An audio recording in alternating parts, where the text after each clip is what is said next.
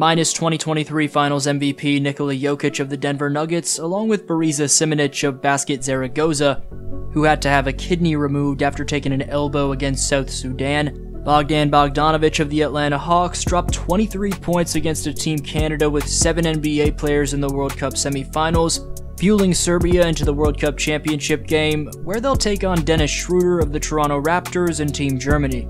Dominating my home country.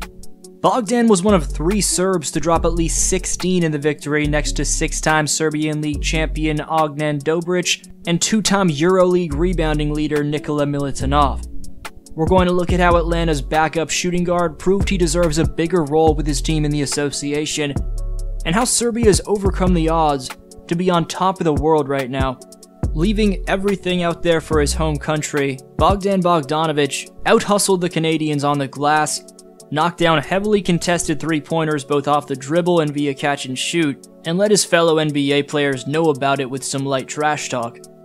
He was posting up to pull off quick twitch drop steps to get himself easy looks at the basket, isolating then manufacturing mid-range looks with impulsive finesse and making line drive attacks, drawing gravity before either setting up teammates for wide open buckets or euro stepping to get it done himself. Bogey's three-point shot creation in the pick and roll kind of resembled a hybrid of Klay Thompson and Steph Curry, as he was seamlessly stepping back and draining shots with a hand in his face far from a one trick pony. This man also got it done on the other end, racking up three steals, including the most important passing lane disruption of the game, where he picks off the kickout from Alexander Walker and takes it coast to coast to put the game out of reach. As a team, Serbia shot a blistering 62.1% from the field, made 45% of their three pointers, and out-rebounded Canada 33 to 22. What's most insane about what Serbia is doing is how they've overcome being dismissed by non-believers entering this tournament. Even during this tournament on August 21st, Serbia wasn't amidst the top 10 of the 2023 World Cup power rankings. A few weeks later, Serbia proceeded to blow out a Lithuania team coming off a victory against the United States by 20 points, holding the Lithuanians to 68 points after they just dropped 110 on the number one ranked, now eliminated Americans.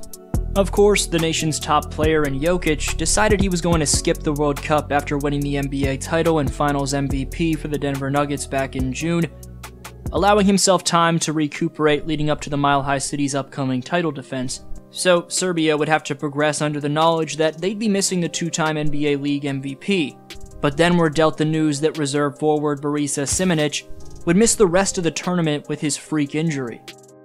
However, being ranked outside of the top 10 and missing two of their most important weapons is far from the only bit of adversity that Serbia has been forced to overcome amidst their path towards qualifying for the championship game in the Philippines. Because not only is this team missing Nikola Jokic and now Borisa Simanic, but the Serbians are missing 2021 EuroLeague MVP two-time EuroLeague top scorer, five-time champion between the Turkish plus EuroLeague, incoming OKC Thunder rookie Vasilije Micic. They're also missing three-time Serbian League MVP and longtime NBA veteran Boban Marjanovic, 21-year-old OKC 7-footer and Aleksej Pokusevski, aka Poku Poku, EuroLeague champion shooting guard Nemanja Nedovic, former LA Clippers point guard Milos Teodosic, 2017 EuroLeague Finals top scorer Nikola Kalinic, along with 2021 All EuroLeague first team member Vladimir Lucic.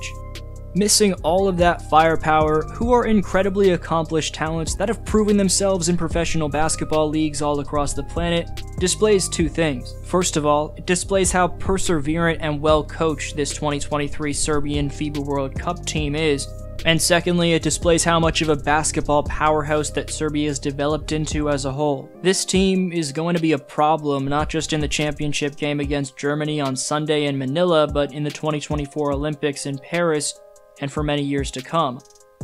For now, the Serbs have one more game to win before getting the label as World Cup gold medalists. Shooting guard in the Serbian League and actually a former player for the Memphis Grizzlies in Marko Guduric detailed how the Serbs haven't made any excuses despite all the players they're missing, saying, It doesn't matter who's not here.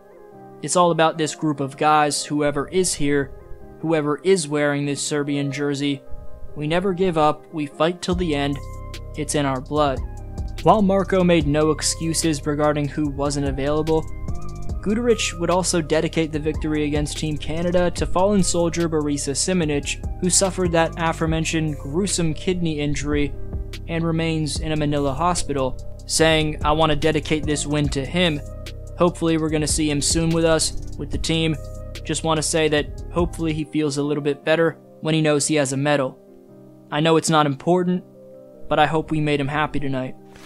ABA League MVP, the Philadelphia 76ers' 50th overall pick in 2021, and a product of Gonzaga University, who's going to join the Sixers in the 23 24 season, 6'11, 234 pound Filip Petrusev, would highlight how this Serbian team has ignored and therefore worked to prove every doubter dead wrong, saying, Nobody believed, but we didn't care about anybody. We just had fun with each other. It's a great group of guys, great chemistry, and when you have good chemistry and great players, anything can happen. We believed and we're here. Don't forget about Nikola, don't call him Jokic Jovic, a soon to be Miami Heat sophomore who's proving to Team USA assistant coach and Miami Heat head coach Erik Spoelstra that he deserves more minutes next season. One of my commenters mentioned Jovic should have made my ranking of the top 10 NBA players who will break out in 2023-24, which was a good point considering his sharp shooting and well-rounded offensive bag. In a starting role for the Serbs, a lot to ask of a 20-year-old who barely got minutes for his pro team last year. Jovic is Serbia's third leading scorer in the tournament, as through Serbia's first seven World Cup games, Jovic has averaged 10.3 points, 2.3 rebounds, and 2.9 assists per game. He's also shot an incredible 10 of 22 from three point range, equating to an elite 45.5% mark from deep range. While Dillon Brooks made headlines for wearing and throwing punches with boxing gloves after Team Canada eliminated Luka Doncic and Slovenia in the quarterfinals, after Serbia took out Canada in the semis, the young Miami Heat prospect in Jovic would troll Brooks by throwing punches on his way to the locker room. But there's no room whatsoever for the Serbs to get comfortable, as they'll go up against one of the fastest basketball players on the planet in Dennis Schroeder, and a German team hungry for recognition, not to mention a gold medal themselves. Nevertheless, it's worth paying homage to the fact that after Serbia's most famous hooper and joker dominated the 2023 playoffs on the way to a chip, now another Serb in Bogdan Bogdanovic has dominated the 2023 World Cup and is one win away from winning a gold medal. I really can't imagine how good of a year it's been for you if you're a Serbian, so I wanted to give a shout out to all the basketball talent this country has both in their back pocket and on the front lines by making today's video. Let me know your favorite player amidst all the depth of the Serbian national team down below. D-Flow signing off.